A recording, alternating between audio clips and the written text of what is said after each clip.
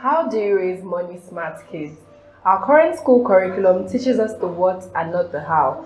So when we grow up, we're looking for big jobs and large opportunities instead of creating our own opportunities.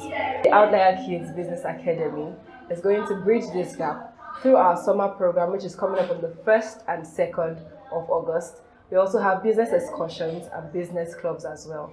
Join us to register your children to create the future that they deserve.